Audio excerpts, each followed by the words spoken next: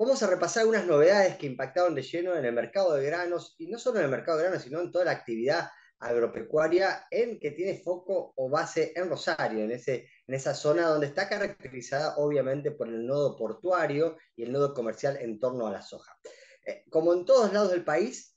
tanto la actividad institucional de los mercados como de los propios operadores se movió al ritmo de dos fenómenos climáticos. Uno el de la fuerte sequía y el otro es de la bajante del río Paraná. Lo que respecta a la bajante del río Paraná, se notó y el año termina con una mejora muy importante frente a años anteriores,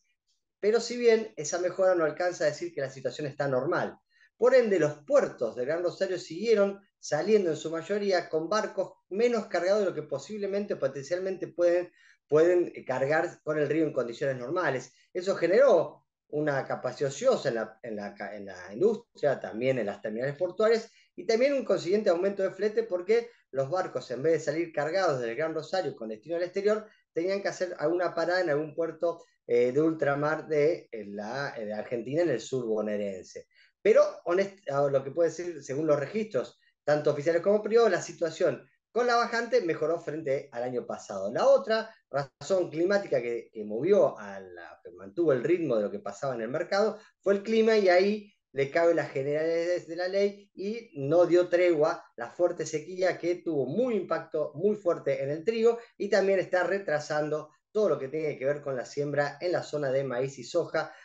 todo lo que es maíz de primera ya se habla casi de maíz de segunda. Y el esquema de los operadores y también de las empresas agropecuarias es de prepararse para un primer trimestre muy ajustado porque no van a estar los ingresos del trigo, tampoco los ingresos del maíz de primera, sino que van a ser tres meses eh, de escasez financiera a la espera de la cosecha gruesa que se postergó para más adelante. Pero eso tuvo que ver en las condiciones estrictamente climáticas, que otros temas fueron los que dominaron la agenda general agroindustrial, más allá de la sequía y la bajante en lo que hace al entorno del Gran Rosario. Bueno, una de esas tuvo que ver con la empresa Vicentín, la empresa que entró en diciembre del 2019 en un mega default, el más grande de la historia del mercado de granos, con más de 1.500 acreedores y con más de 1.700 millones de dólares adeudados. Bueno, fue todo un año de, digamos, de puja judicial, que tuvo rounds en la justicia, pero también rounds en los medios, rounds en, la, en sede penal, rounds en los tribunales comerciales. Finalmente, ahora todo se espera que para febrero, una vez que termine la feria judicial, haya un nuevo round, no se sabe si el definitorio, pero sí uno que ya empiece a generar las instancias finales de esta larga contienda. ¿Qué fue lo que pasó este año con Vicentín? Bueno, Vicentín hizo una propuesta de, pago a sus acreedores, logró las mayorías que demanda la ley de quiebras y concursos, concursos y quiebras, en lo que respecta a los mínimos que tiene que conseguir en capital y en cápitas, pero cuando se disponía a presentarla en busca de la homologación del juez, apareció la Corte Suprema en la provincia de Santa Fe y frenó a mitad de año el proceso, lo puso en stand-by, le quitó todos los documentos al juez civil y comercial que lleva la convocatoria, Fabián Lorenzini, se la puso a investigar porque había acreedores que señalaban de que era una propuesta injusta para los acreedores comerciales, hablo de acopios, hablo de productores y hablo de corredores grandes, que sostenían que a ellos, a diferencia de los acreedores más chicos que casi que le pagaban en total de la deuda, sobre todo aquellos que le debían menos de 30 mil dólares, bueno, los acreedores medianos, grandes, comerciales señalaban que a ellos la quita podía llegar a ser del 90%. Además de denunciar de que el juez comercial se disponía a tomar medidas para homologar un concurso, mientras que en sede penal todo el directorio de Vicentín estaba imputado por estafa, administración fraudulenta y otros delitos penales, como si eso no pasara, decían eh, los acreedores sobre lo que pasaba en el Tribunal Comercial. Bueno,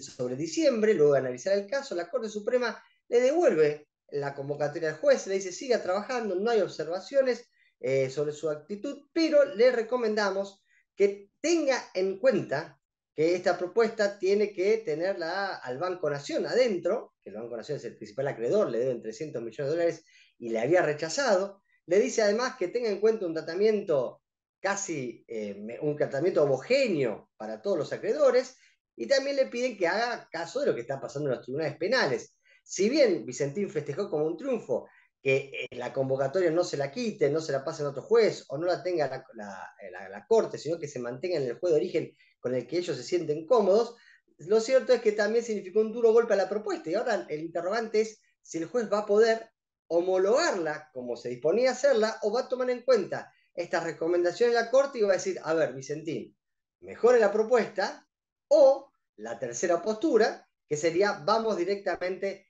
al down, digamos, no hay más propuesta única, abrimos el juego para que cualquier empresa pueda entonces tener eh, una, eh, pueda presentar una propuesta. ¿sí? Esa sería la tercera alternativa. Bueno, todo esto se va a definir en febrero cuando vuelva, la, cuando vuelva de la feria la actividad en los tribunales. Esto es, si el juez la homologa como si nada, si le pide que la mejore, tema que significa forzar algunas normativas y como piden los acreedores medianos y grandes que dicen que hay mejores propuestas dando vuelta, que le hable el juego y posibilite que más empresas hagan una oferta para quedarse con los activos de Vicentín. Obviamente Vicentín fue el tema que, que tuvo que ver en lo que sea en, el año, lo que sea operador del mercado de grano, pero también hay que decir que en ese momento también se concretó finalmente en tribunales la caída de otro operador muy fuerte, que era la de Guardati Torti, y también el resurgimiento, el reacomodamiento ya en un nivel mucho más chico, sin ser los popes del mercado, de otra de las empresas que había caído en el 2019, que fue BLD, esta vez ya sin tanta pompa, sin ser unos popes del mercado y sin haber pasado por tribunales penales, eso lo ha, lo ha, le ha mejorado un poco su visión en el mercado, bueno, está volviendo a tratar de acomodarse en la operatoria comercial. Producto de todos estos problemas,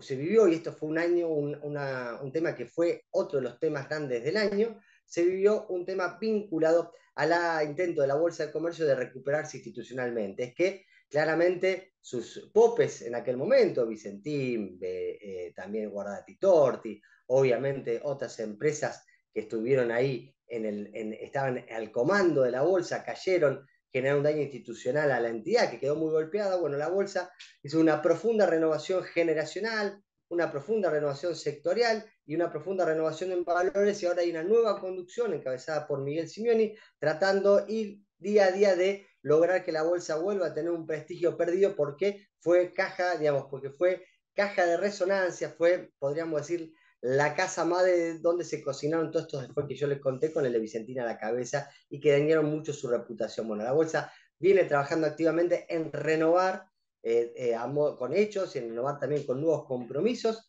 eh, de, de, todo tipo, sino compromisos de asistencia al mercado, pero también compromisos de trabajo,